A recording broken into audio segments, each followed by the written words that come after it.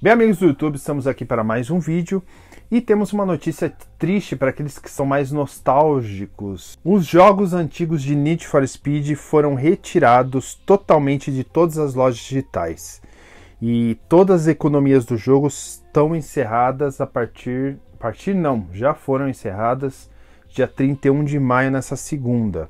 Porém, os sistemas de classificação e matchmaking ficarão ativos até dia 31 de agosto.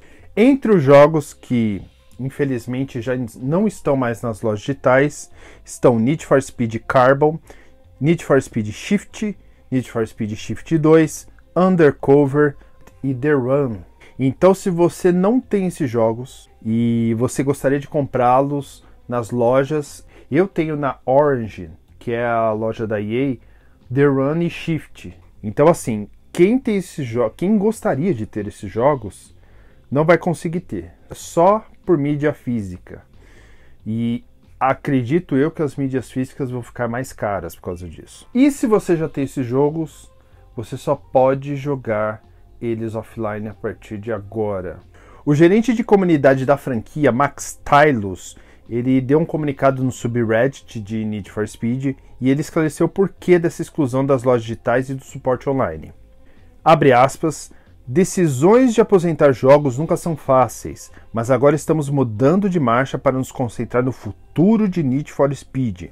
Assim, as equipes de desenvolvimento e a equipe operacional dedicaram muito tempo e paixão ao desenvolvimento, criação, lançamento e manutenção do jogo ao longo de anos e adoramos ver vocês jogar mas o número de jogadores chegou a um ponto que não é mais viável continuar o trabalho nos bastidores necessários para manter Need for Speed Carbon, Need for Speed Undercover, Need for Speed Shift, Need for Speed Shift 2, Unleashed e Need for Speed The Run em funcionamento. Então fica claro que o que acontece é, não tem jogadores suficientes para eles manter todo esse povo trabalhando nos servidores da EA só para manter Need for Speed. Eu acredito que não seja só isso. Talvez eles querem pôr esse povo para trabalhar nos próximos Need for Speed. É, por, o pessoal para trabalhar, por exemplo, nos é, remakes, remaster. Por exemplo, existe um boato né, que vai ter um remaster de algum outro Need for Speed. Talvez The Run, talvez o Most Wanted. E fica claro que eles estão pondo esse pessoal para trabalhar nisso, trabalhar nos servidores desses jogos.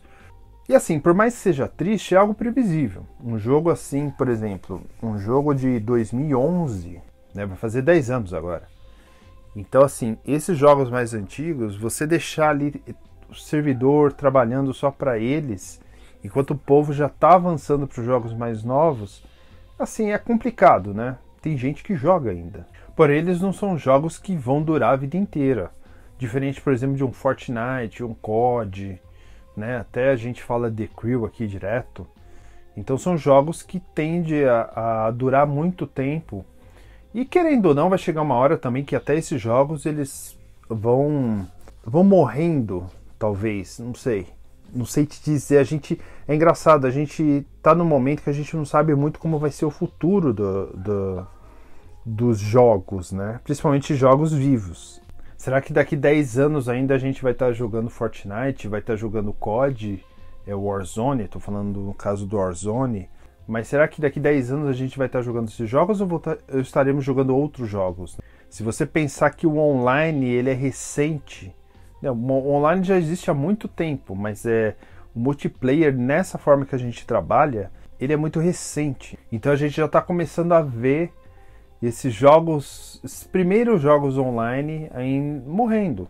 Isso está acontecendo, e você sabe como que a EA é, a EA não gosta de gastar dinheiro com essas coisas. A gente tem um novo estúdio trabalhando, um novo velho estúdio, né, que é Criterion Games, trabalhando em Need for Speed.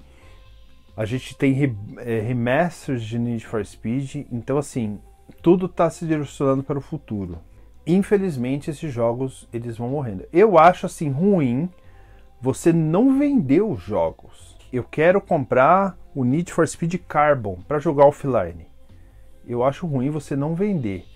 Questão de multiplayer, questão de sessão, questão de, de servidor, eu até entendo. Então, Se você quer jogar qualquer um desses jogos, vai ter que comprar a mídia física. Então diz aí, você tem ainda a mídia física de um desses jogos? Se você gostou do vídeo, dê um like, se inscreva no canal. Até a próxima, tchau!